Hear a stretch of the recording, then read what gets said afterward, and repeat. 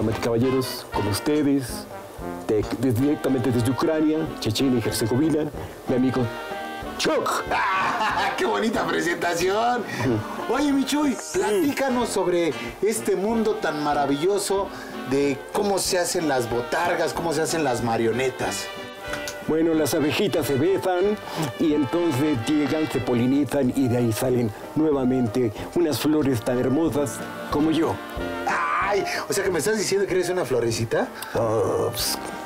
Gabriel, antes que nada, muchísimas gracias por recibirnos aquí en tu casa y abrirnos las puertas de este mundo tan maravilloso que son las botargas. Pues mira, la verdad es que son un, un trabajo que he tenido durante, ¿qué te gusta? 30 años de mi vida. Botargas desde perros, de chivos, de loros, de todo, iguanas. ¿Cómo fue que nació el gusto por estos seres maravillosos? El espectáculo para niños es, este, esa es realmente una parte importante. Realmente yo te recuerdo por un- una marioneta que realmente creo que fue muy querida por muchas generaciones, que fue este ratoncito buena onda que era Topollillo.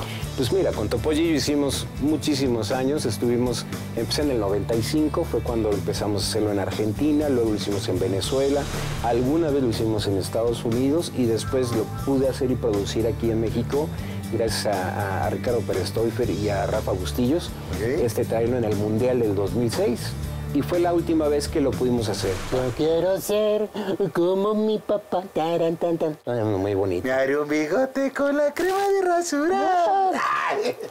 Su corbata y sus zapatos me pondré. Uh, uh, y me iré como él a trabajar. Como mi papá, como mi papá.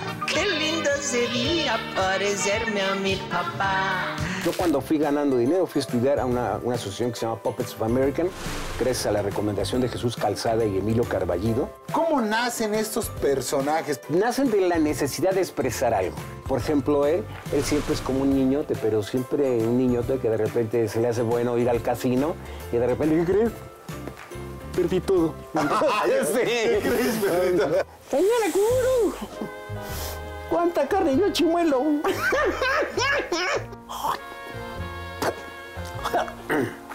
Perdón. Pato, píntate ese mechón. Rafa, saca, saca. Pero saca la panza que ya no te queda.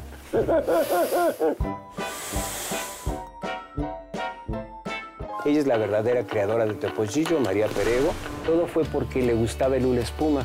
¿Qué te ha dejado todo esto? Mira, cuando menos gracias a los muñecos he vivido muchos años. Ok. Ya te estoy diciendo que de carrera tengo 33.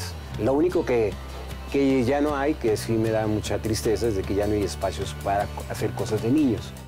Un saludo para todos mis amigos de Tu Casa TV. Un besito muy grande a Pato. Y un saludo más grande a la más hermosa. La señora Kuburu. A la mamita Kuburu. Eh, besitos, chao. Eh, que San Pepino los cuide y los quiero mucho. Y lo dije yo primero, lo dije yo primero.